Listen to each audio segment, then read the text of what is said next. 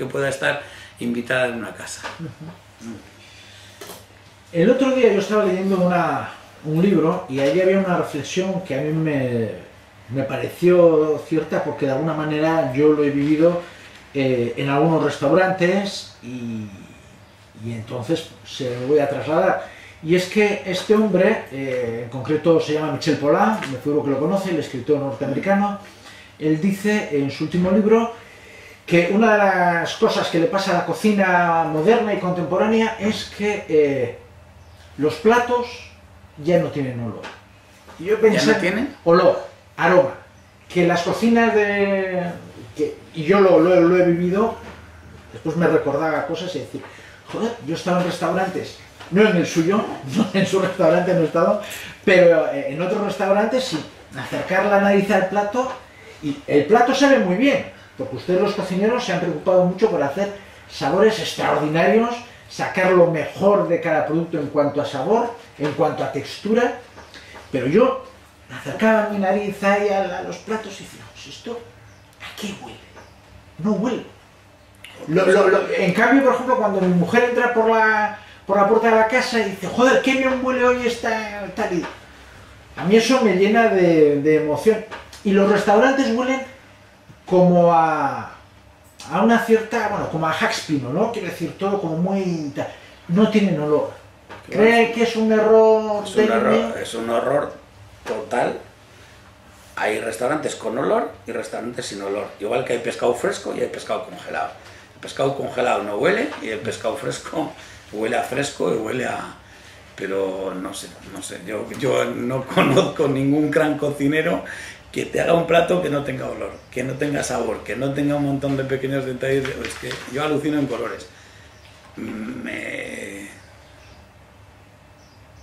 yo creo eh, eh, yo, yo pido un poquito de respeto entonces cuando yo hablo de otras profesiones si yo hablo del señor este Sí, lo voy a hablar desde el respeto entonces yo no voy a hablar entre los que hacen su profesión mal me explico Sí. entonces cuando se habla de cocina eh, o sea, no conozco ni un restaurante grande del mundo de, de buena cocinera, de buen cocinero, que no alucines con el olor.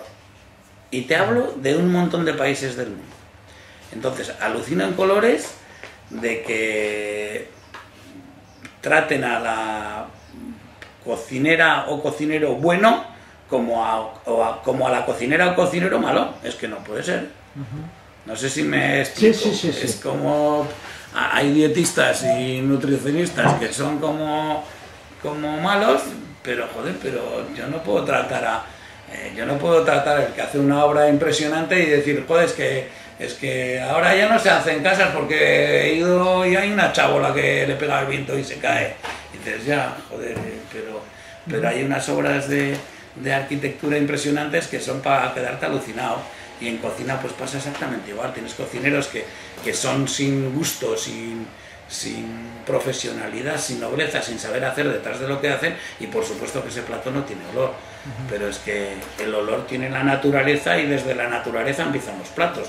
Y desde, desde lo que aporta el cocinero y la magia que tiene cada cocinero hace que, que el, que el plato no solamente tenga olor, es que tiene que tener olor más la magia que le pones.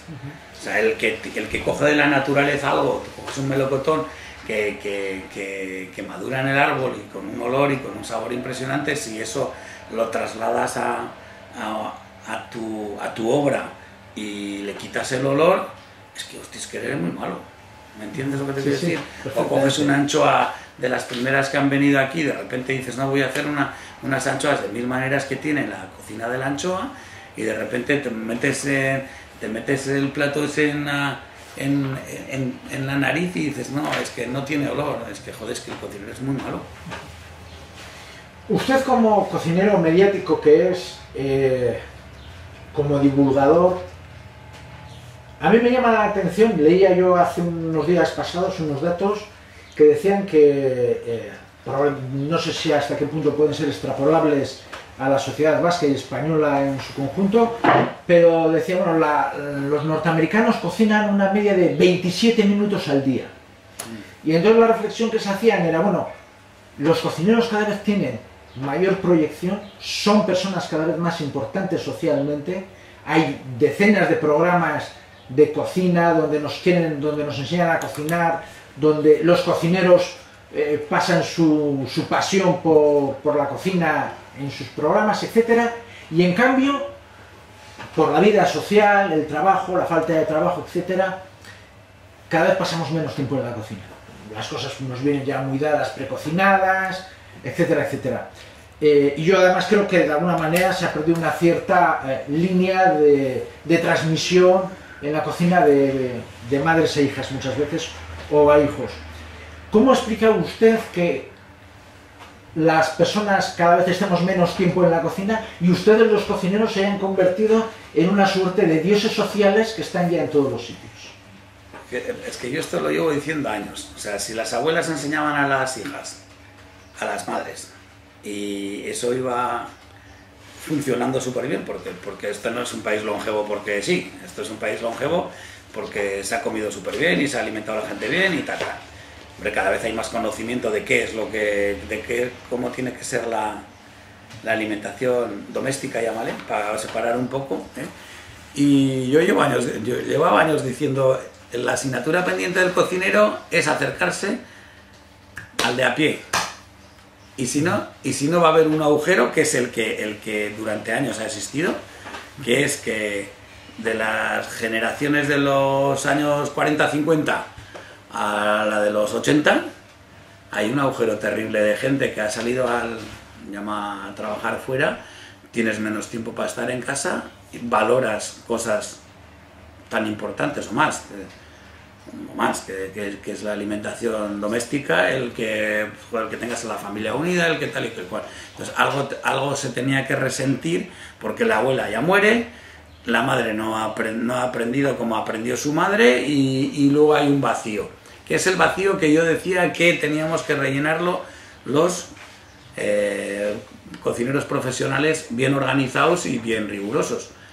Y de ahí es donde yo me meto un poco desde hace bien de años a, a, partir de libros sencillos. Si te das cuenta, yo no he hecho ningún libro mío profesional. Lo haré el día que me jubile o yo qué sé cuándo. ¿Se va a jubilar usted? No sé. No, de, ni, nunca se me ha pasado un segundo por la cabeza de cuándo me voy a jubilar. Pero, pero sí que le doy importancia al, hacer cosas divulgativas para que, to, para que se beneficie todo el mundo. No cuatro chalados como yo, que que, soy una, persona que, que, vive para y por la cocina en cuerpo y alma.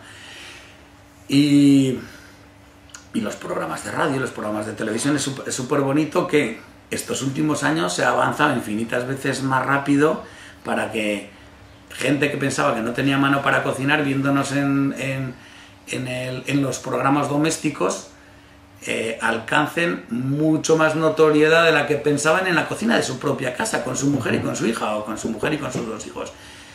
Y a mí me enorgullece un montón eso, el que, haya gente que, se acerca a las casas y que yo haya sido un pionero en eso.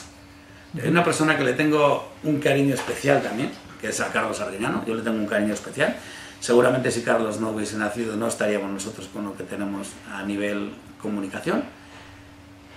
Y, y le doy una importancia increíble que, que, que, que tengas el salero de, de alegrar la sonrisa de, de, una casa a través del cristal, a través de la televisión. Eso me parece de una de una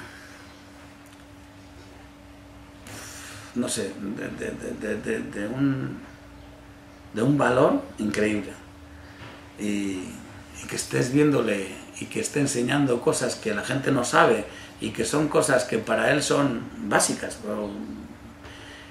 y que con eso hagas que, que, la gente viva mejor, que la gente disfrute, que tal, y que haya sido el, el, camino a seguir en, en, los temas de comunicación y que haya mucha gente que, que siga los pasos de él en televisión y que siga los pasos de él en, en, dar recetas en periódicos, en revistas, en, radio.